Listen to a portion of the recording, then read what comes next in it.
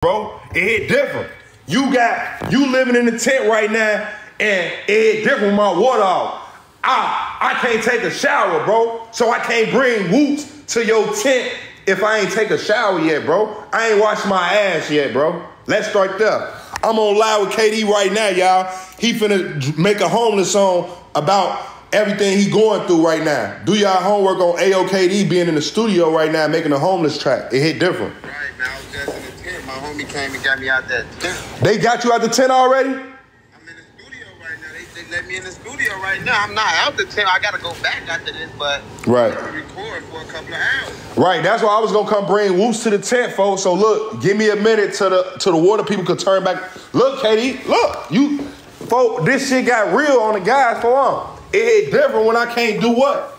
I can't, I can't flush my toilet. Let's start there. It hit different. Now I can't flush my toilet and my shit gotta look like this. It different.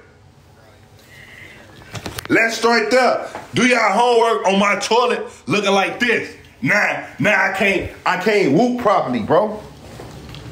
So, KD, you got problems, I got problems. We